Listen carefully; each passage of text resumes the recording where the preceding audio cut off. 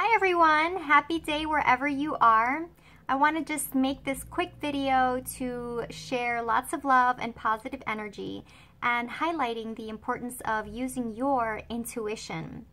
It's a sixth sense, it's a feeling, it's often defined as when you know without knowing how you know. So it's sort of like a magical power that every single person has from the moment you're born.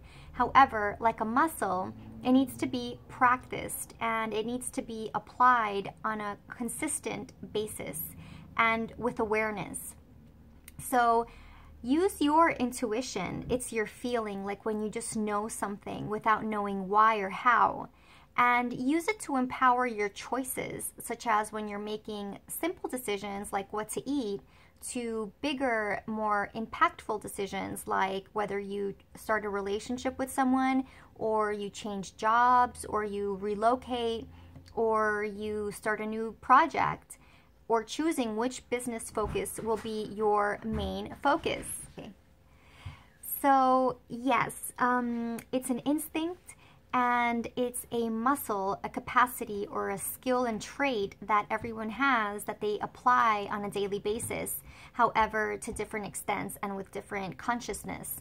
So, how can you apply this in your life, or how can you bring this information as something practical and relevant for you?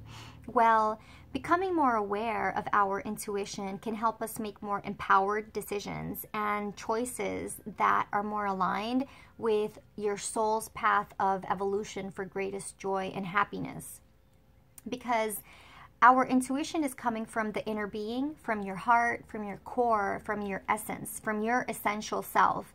So it stands to to reason that if we follow that guidance and that voice, we can make better choices that will generate the greatest happiness and well being for ourselves and for everyone concerned. So, use your intuition. Perhaps if you're not as aware of it, bring it into your daily life by asking yourself, what am I feeling about this? Or what is my sense about making this choice or going this way? Because it can also make a big difference in how much fun you're having, whether you're just operating on automatic and doing things because of the same routine. And sometimes we even doubt ourselves in doing something different because it's not part of the routine or the same structure. However, doing something different may be part of a happier path. So that's my invitation for all of us is to harness your intuition, the power that you have within you to make choices that are based on a sixth sense, on your own psychic power, your own capacity to know what's the best course of action without knowing why. And one caveat or thing to, to be aware of is that intuition is not jumping to conclusions or making assumptions on other people or projecting your thoughts on other people.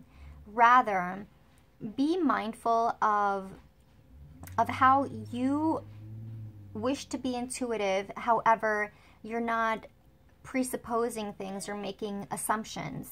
And you can do that by opening your intention by saying, I intend to use my intuition or to be intuitive without making assumptions on others or projecting onto others or um, thinking X, Y, or Z without having evidence. Use it in baby steps. Start small in your daily life. Like, what do I feel is the best road to take to go to class or to go to work? Or what do I feel is the best food selection to make that would give me the greatest energy, that would leave me feeling the very best? And your intuition will guide you towards that.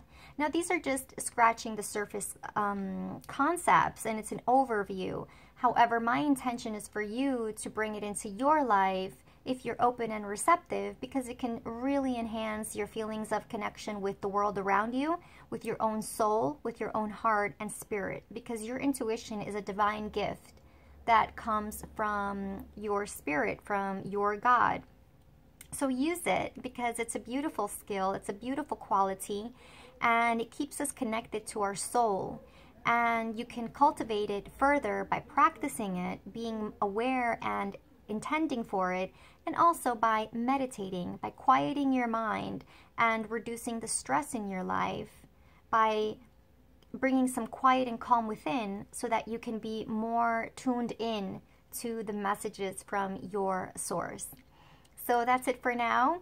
I'll see you next time, and I am wishing you loads of fun on your journey of intuitive development.